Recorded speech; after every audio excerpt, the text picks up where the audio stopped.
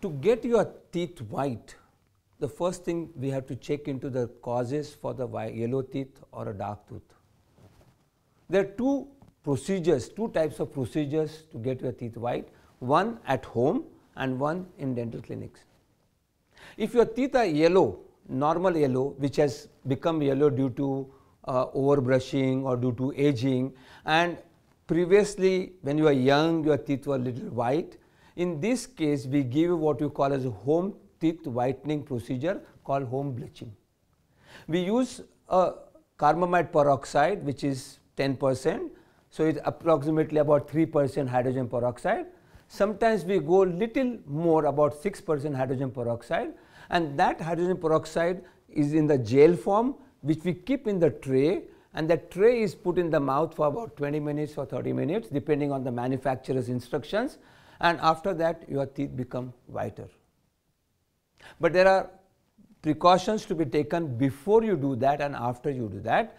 Before your teeth has to be clean that is they should be polished etc. by the dentist and after that 24 hours you can't drink black coffee, you can't have red wine or you can't have colored food which contains turmeric or masala etc. for 24 hours.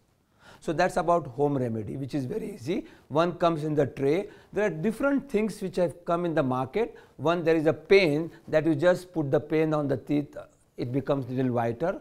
So, these are the remedies which can be used at home which is safe. Only people or only women who are pregnant or young children below 14 years of age can't use this tooth whitening at home. The second procedure, if this teeth doesn't become whiter at home, because this is a milder procedure, a dentist in his clinic can do a procedure where a teeth can be whiter. In clinic, what we use is higher percentage of car carbamide peroxide or higher percent of hydrogen peroxide. The highest percentage of hydrogen peroxide what we use in the clinic is about 35 to 37 percent hydrogen peroxide. We have to take a lot of precautions and there are different other procedures have come with a powder liquid mix which you apply on the tooth surface, but these are the procedures done by dentists because they are very delicate procedures. And the last and the most important aspect of tooth whitening in the clinic or at home, there is no complication, there is no permanent damage to your teeth. Your teeth are as healthy before tooth whitening as after tooth whitening. And a dentist will tell you whether your teeth are going to be white, whiter or the whitest depending on the condition of your teeth and what he is using home or office that is your clinic tooth whitening system.